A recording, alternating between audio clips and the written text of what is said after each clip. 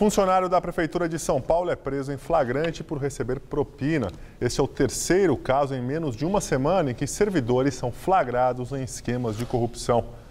A repórter Sabrina Pires está em frente à primeira delegacia de investigações sobre crimes contra a administração pública e tem mais informações. Boa noite, Sabrina.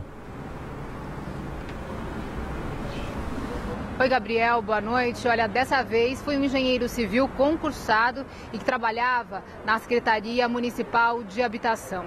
Eduardo Tadayoshi Kawai, de 52 anos de idade, foi preso em flagrante hoje quando deixava um bar que fica ao lado do seu trabalho. Tinha acabado de acontecer um encontro com a vítima e ao deixar o bar ele recebeu um pacote com 4 mil reais. Esse seria o dinheiro da propina. Essa história começou há cerca de 20 dias, quando um morador aqui da capital veio até a delegacia reclamar que estava sendo cobrada uma propina de 10 mil reais para que ele regularizasse a situação do seu imóvel.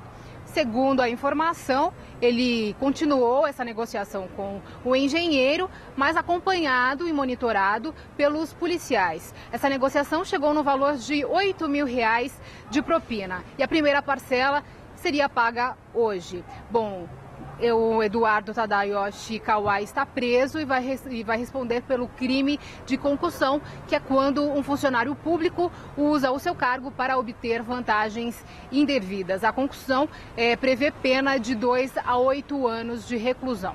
Esse é o terceiro caso de servidor que foi preso também em flagrante por receber propina. Todos os casos serão apurados pela Prefeitura de São Paulo, com prazo máximo para uma resposta de 60 dias. Todos os três estão presos. O outro caso aconteceu na sexta-feira passada, quando um casal foi preso em flagrante por receber propina, acusado de receber propina de 80 mil reais para não multar uma empresa aqui também da capital. Eles eram funcionários da subprefeitura de Santo Amaro. Gabriel. Obrigado, Sabrina. Boa noite para você.